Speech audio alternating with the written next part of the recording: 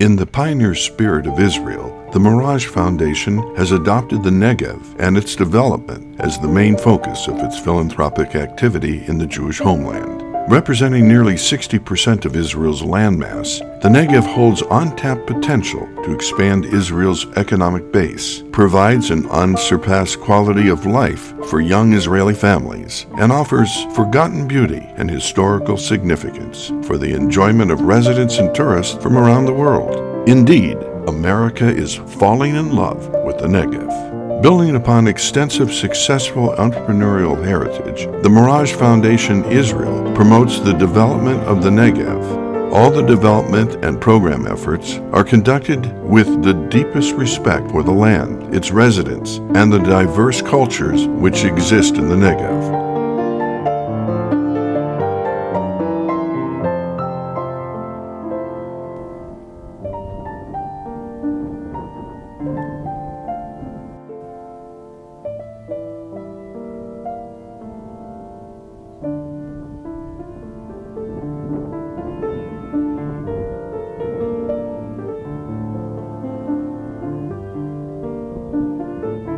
What are we looking at? It looks like a mobile home in Palm Springs, California. Uh, more or less it is. This is how our organization first started. Uh, in 2002, two of our founders decided that their model for changing what it meant to live in the Negev would be to bring young people to live here. So what they did was they bought these mobile caravans, moved into the desert and tried to provide a way that they could bring young people to develop a relationship to live here.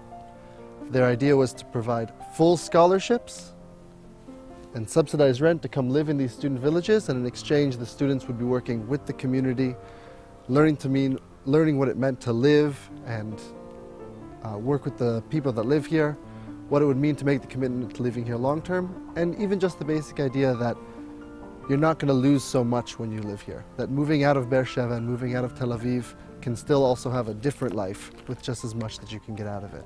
We're in the Yeshuv, in, in the, in the town of Ashalim. Inside of the town is what's called a Kfar Studentim, a student village. This started actually with just two people living in this caravan right here. The CEO actually still lives here. Um, this is our very first village, which was founded in 2002. We've grown from those two people in this one village after 10 years to 13 villages with over 700 students, working with families, working with social projects, and then also physically building the villages we live in. So it's important to note that as we walk through here, everything that you see will have been built by Ayalim students and volunteers, from the paths we walk on to the houses we live in. Well, we've just about finished our building here. Um, the original plan was to expand this to twice the size, but as things have grown, we kind of realized that anything bigger than this really loses a lot of the communal feel. So rather than just expand where we are here, we look to expand in new places with the idea of casting a wider net. We've really maxed out the impact we can have on the community here. It's grown from 10 years ago when we first moved in, there being only 14 families. Uh, now there are 98 families living here, and there's actually a waiting list to move into Ashalim. We have communal uh, Batei Midrash where we sit and have philosophical discussions. We may have a very strong community aspect, but we don't really subscribe to the kibbutz model anymore. Uh, in this 21st century world, we're not looking to have a discussion on whether I want, if I want to buy a TV, if that's something I can do or not. Uh, that being said, we may not have a chadar ochel, but we eat together. Everyone will bring something to a potluck type thing. So we pick and choose the things that we like from the communal lifestyle in a way that's fitting for the 21st century. We have a thing that we say here a lot that we're not doing anything new. We're just doing what was done in a way that's right for us. Well, there are people that are really looking to be chalutzim, to be pioneers again, uh, looking to start something new in a place that really has seen a lot of neglect uh, outside of the center of Israel. That being said, where they come from is an incredible cross section of Israeli society. There are people here who grew up on kibbutzim that are idealistically secular, so they never had a bar about mitzvah.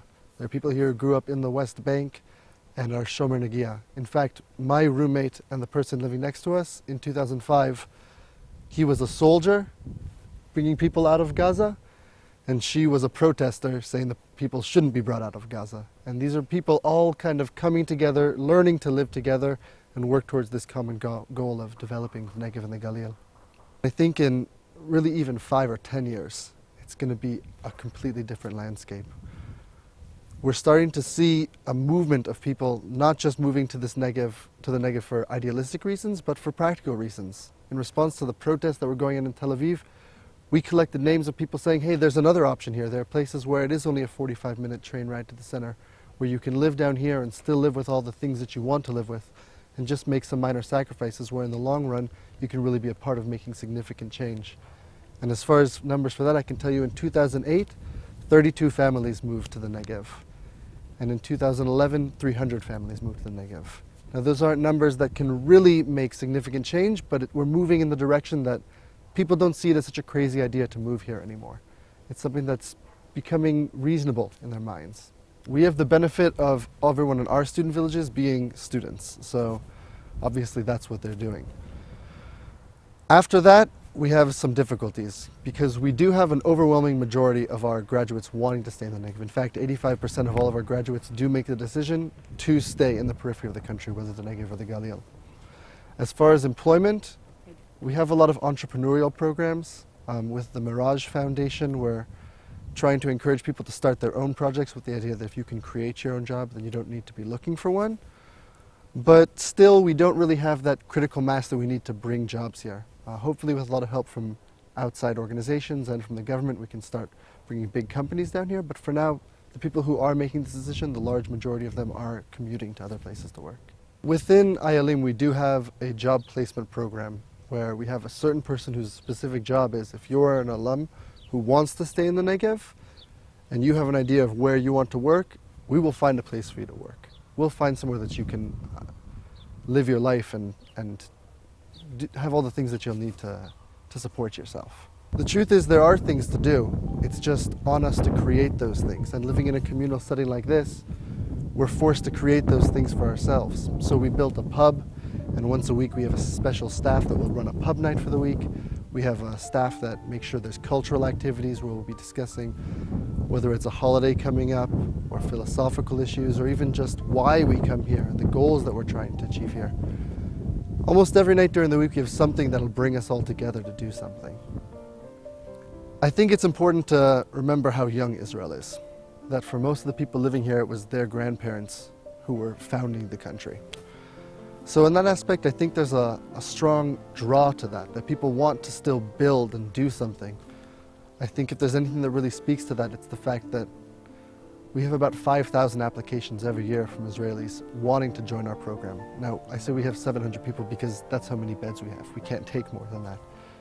But there's a real movement of young people here going completely against this label of apathy that's been uh, labeled upon us. And I don't think that it's something that's just Israeli, but really distinctly Jewish to want to come to Israel and build something here, to make the country as a whole a better place.